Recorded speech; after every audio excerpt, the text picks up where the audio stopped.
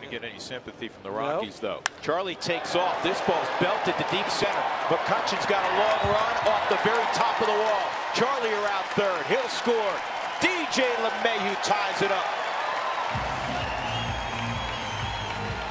Give some props to Charlie Blackmon because he read that just like you want to as a base runner. He knew where it was going, so he didn't hesitate when this ball goes off the wall.